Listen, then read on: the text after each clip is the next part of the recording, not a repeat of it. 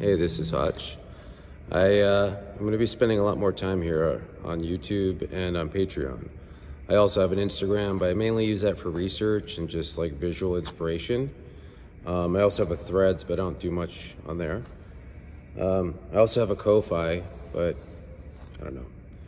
In any case, I'm here now. I wanted to let you guys know that I'll be around on YouTube more often, figuring it's going to be a lot of voice stuff, stories, stories that I've written, just reading other people's stories, poems, just connecting through voice. Um, let's see, where am I with my writing stuff? I just got to writing chapter six for the young adult thing. I'm about 22,000 words.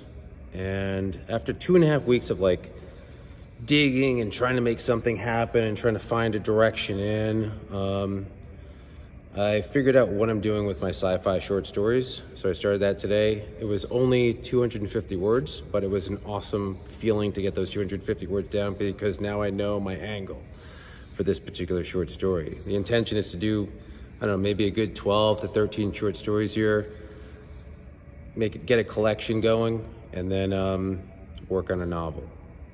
All right, well, I'll be around here on YouTube, and I'll talk to you later.